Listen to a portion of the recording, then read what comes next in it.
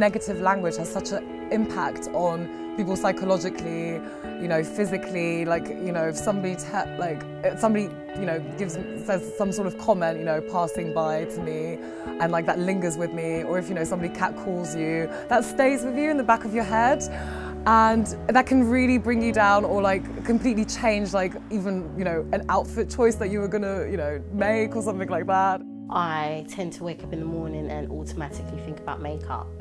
Um, just because I know that if I don't leave my house without makeup, it's going to make me feel, you know, uh, some type of way. Um, someone may look at me and think, oh, she doesn't look, you know, she doesn't look right today. She doesn't, you know, have her makeup on. She doesn't have her lashes on. I went to school where I was the two out of, yeah, there was only two of us who were black. Um, so everyone else middle class um, white girls. So image there was sort of flipped upside down. I'd grown up seeing all these curvaceous, really full ladies um, shaped beautifully, as beautiful, and then I come to school and they're admiring, you know, if your hip bone sort of po pokes out of your jeans, that's what's really, really pretty. So it just sort of, it knocked what I'd always known to be beautiful. Now you've got it's a fashion trend. It will go from, oh, having a big chest is good, but it won't be okay in a couple of months. And the general theme is that to be beautiful, and I know it's from the media, but it's also from society, you've got to be slim. And it's just, it's ridiculous.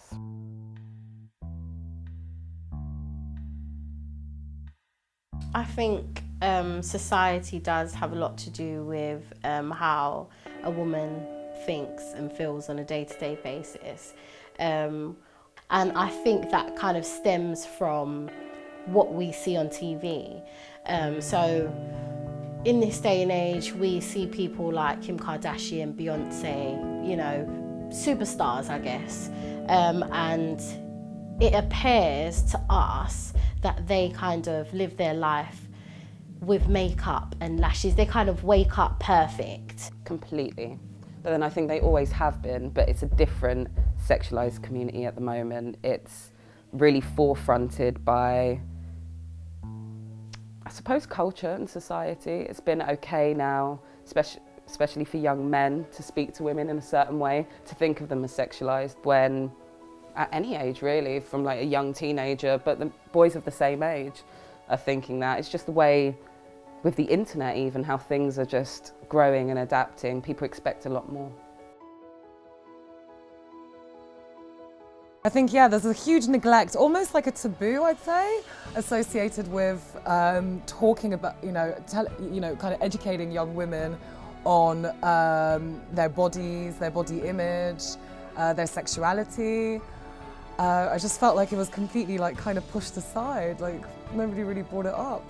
Um, Boys had more education about the female body. Would that take some pressure off girls?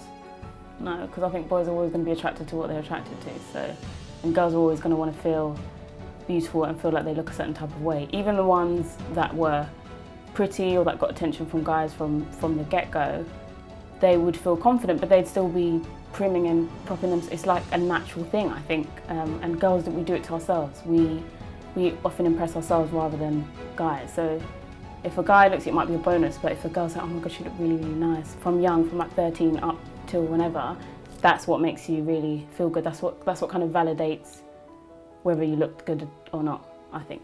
I think just to be educated, um, just from an actual woman, to be honest, um, whether it be a mum or a sister, a friend, just to kind of give the real life facts.